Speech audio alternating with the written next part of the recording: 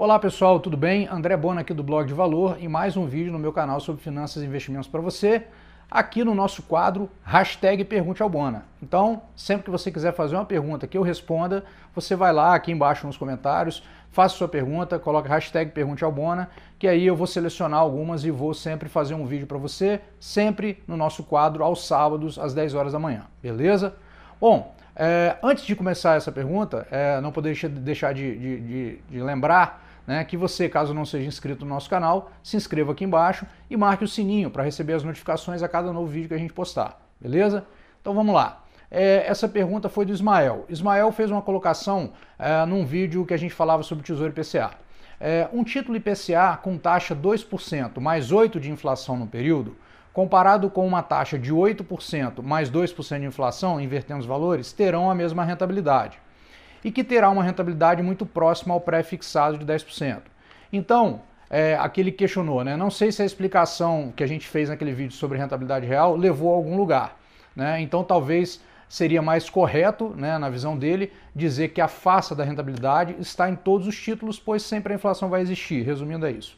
Ismael, você está perfeitamente correto. É, o ponto conceitual aqui que a gente é, é tem que observar é o seguinte: é, existe uma diferença entre rentabilidade real e rentabilidade é, absoluta, ou rentabilidade final, digamos assim. Qual é a rentabilidade final? A rentabilidade final é aquela, por exemplo, 10%, rendeu 10% no ano, beleza? É, e a rentabilidade real é aquela rentabilidade que acontece depois da inflação, certo? Então, no exemplo que você deu, embora a rentabilidade nominal, né, se a taxa fosse 2 e, e, e, a inflação fosse 8, ou a taxa fosse 8 e a inflação fosse 2, né, embora dariam aproximadamente 10%, não dariam exatamente 10%, porque primeiro você corrige o IPCA, depois você aplica o, o, o, o valor da taxa, tá? Então, não é, então, no caso, você aplicaria 2, depois 8, no caso 8, depois 2. Mas vamos considerar que, que fosse igual. Ainda assim, é, você teria que entender que tem uma diferença de rentabilidade real. E toda vez que você faz um investimento atrelado ao IPCA, o que você está buscando é rentabilidade real. O que é rentabilidade real? É a rentabilidade acima da inflação. Então, se você tem uma taxa de 2 com a inflação de 8, então você vai ter uma rentabilidade real máxima ali de 2, caso não, não existisse IR. Vamos desprezar o IR só para o entendimento do conceito. Agora, se você tivesse um título com taxa de 8 e 2% de inflação, você estaria tendo um ganho de 8% além da inflação, entendeu? Então, nesse caso, você está certo quando diz que a rentabilidade final seria igual, porém a rentabilidade real do segundo caso seria muito maior, ou seja, você estaria de fato ganhando poder de compra no seu dinheiro. Você poderia comprar 8% a mais do que você poderia anteriormente. E se a conta fosse invertida, você poderia comprar 2% a mais do que você compraria antes do investimento ao longo do tempo que você ficou investido, entendeu?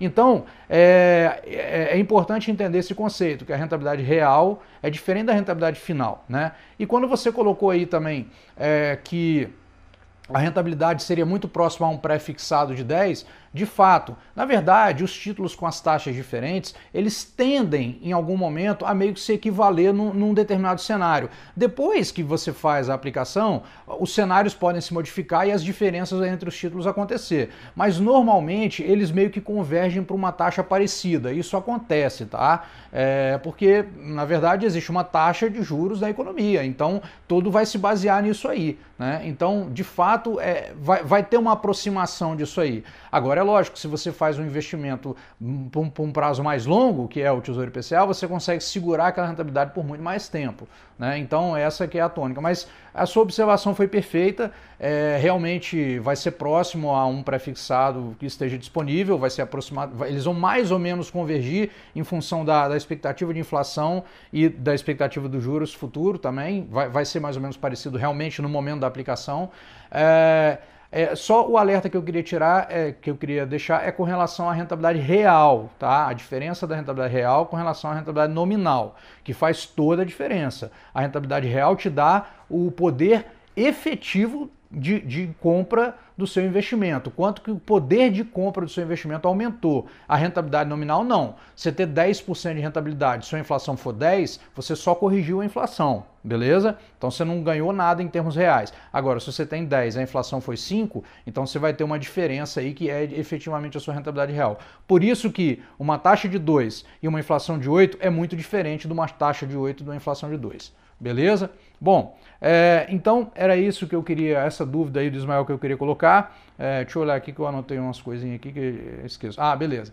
Então não esqueçam, esse quadro é um quadro para eu me aproximar de vocês, para tirar as dúvidas reais que vocês tenham. Então você pode colocar aqui embaixo.